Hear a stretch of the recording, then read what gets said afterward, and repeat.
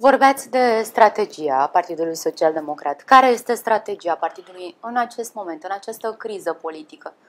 Noi am fost primii care am uh, uh pus public, am arătat public și am, le-am cerut celor din opoziție și de la putere, era cazul USR Plus atunci care spunea că vrea să iasă de la putere, am pus o moțiune de cenzură uh, în spațiu public, am spus că aceasta va deveni efectivă când avem numărul de semnături egal cu numărul de voturi ca ea să treacă, uh, pentru că, uh, și aici este diferența față de moțiunea pe care au pus-o USR Plus și AUR, pentru că noi mergem în uh, întâmpinarea așteptărilor populației față de noi și nu față, numai față de noi, ci așteptărilor populației legate de căderea acestui guvern. Acest guvern are 21% în ultimele sondaje încredere, deci sunt vreo 70 și ceva la sută dintre români care vor ca acest guvern să plece. 61% spuneau într-un sondaj recent că ar vrea ca președintele Iohannis să-i ceară demisia domnului Câțu. Altfel spus, chiar și electoratul USR, plus chiar și electoratul PNL sau UDMR, cei de la guvernare, nu susțin acest guvern. Deci oamenii își dau seama că acest guvern nu a performat deloc în această perioadă grea pentru România nu și-a ținut promisiunile și motivația noastră pentru moțiune, de aceea ne este foarte greu să acceptăm o moțiune a USR Plus, pentru că moțiunea noastră spune următorul lucru. Este un eșec al guvernului și trebuie să plece din această cauză Câțu.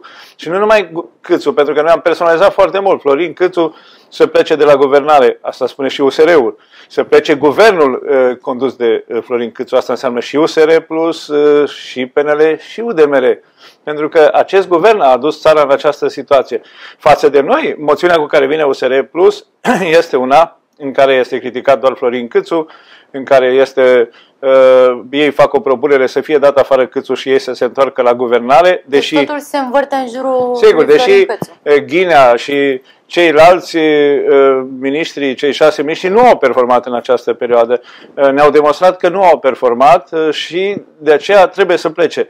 Asta e diferența între cele două moțiuni. Sigur că obiectul celor două moțiuni este același, să cadă guvernul Câțu, dar uh, pentru cauze diferite. Ori noi vrem ca această cauză pe care o resimte 70% din populație, guvernarea proastă, să fie cauza căderii acestui guvern. Pentru că este cauza reală pentru care ar trebui să plece guvernul Câțu, nu pentru că a dat afară doi miniștri ai USR+. Uh, Asta ține de neînțelegerile lor. De aceea, în primul rând, strategia noastră, acesta este primul punct, este să ne ținem de reprezentarea populației, a consumatorilor, a cetățenilor în, a, în această chestiune. Să nu intrăm în să facem jocurile altui partid, nici a PNL-ului, nici a uh, USR+. Am fost uh, atacați că ținem partea lui Câțu pentru că nu am uh, mers la să intrăm în scandalul din BPR-ul de săptămâna asta. Că aveți blat cu PNL. Că avem blat cu PNL-ul. Nu avem niciun blat cu PNL-ul. pentru că scopul nostru este să dăm jos PNL-ul de la putere.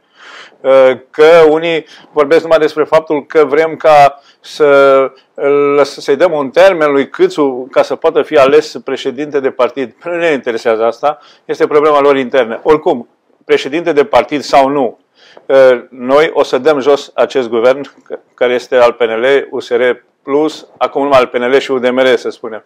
Deci o să-i dăm jos oricum. Înainte, când va veni momentul. Înainte sau după.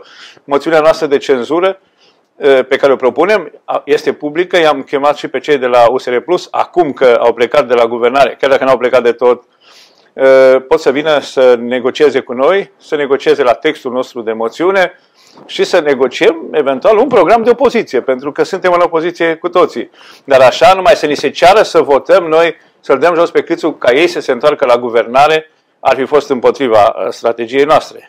Un al doilea lucru care ține de strategia noastră a PSD este ca uh, acest uh, guvern să plece pentru ca să aducem un alt program de guvernare, să aducem o altă majoritate. Și aceasta se poate face uh, în mai multe modalități. Sigur că noi nu excludem nici alegerile anticipate. Pentru că alegerile anticipate, întoarcerea la popor până la urmă, este ultima soluție. Este greu să se ajungă adevărat, dar nu este imposibil să se ajungă dacă vom considera cu toții cei din opoziție că nu mai poate merge așa. Iar al, al treilea lucru care ține, sigur că tot de primele două puncte de care bine am spus, este vorba că, de faptul că noi nu vom vota niciun fel de guvern minoritar. Nu vom accepta un guvern minoritar, așa cum ne acuză USR Plus sau AUR în acest moment. Nu vom vota niciun fel de guvern și nu vom susține un guvern minoritar. Și pe de altă parte, sigur că al patrulea element al strategiei noastre, care este punct de bază pe care l-am stabilit la Olimp, nu intrăm la guvernare cu niciuna din aceste forțe uh, care se află în acest moment în spațiul politic. Deci nu vom înlocui în niciun caz pe USR Plus cu uh, PSD uh, pentru a continua un program de guvernare dezastros sau pentru a continua a da în continuare supraviețuirea acestui guvern.